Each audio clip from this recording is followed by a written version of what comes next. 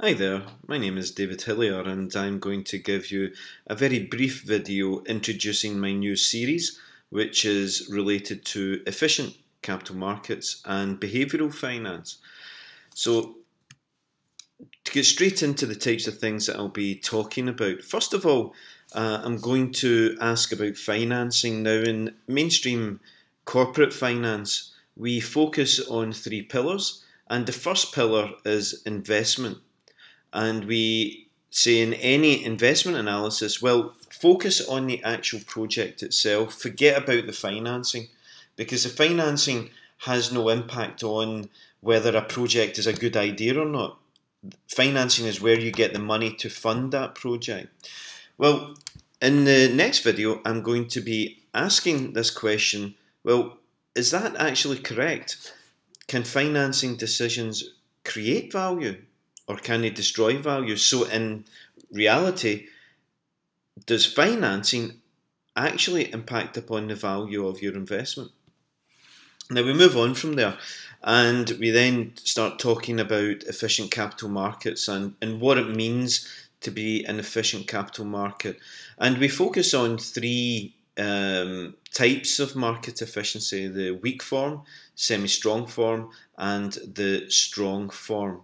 And we spend a whole video just looking at the different types of market efficiency. Within the next video we'll be looking at the, the evidence, the, the empirical research into market efficiency.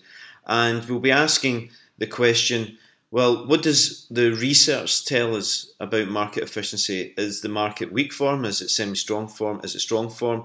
Or is it not efficient at all? Moving on from efficient markets, we introduce a new area, and it's a very vibrant area of finance and a, a very uh, a very strong and growing area, and that's behavioural finance. So I'll explain what is meant by behavioural finance, and then we'll look at evidence uh, into whether markets are rational or irrational. That's where the term behavioural comes from because it's your behaviours that impact upon market dynamics rather than the market structure or the market dynamics themselves leading to uh, good efficiency or good pricing. We'll then try and bring behavioural finance and efficient capital markets together, and we'll look at how they can exist together. Can they exist together? Can you have rational markets at the same time as being efficient? And uh, we'll then take all of that together and look at it for, from the perspective of corporate finance. And we'll look to, to see whether, as a manager, you can take advantage of efficient capital markets and if you can take advantage of behavioral financial insights into investor behavior. Okay, so just a very quick and speedy overview of my new uh, video series, and uh, thank you for listening.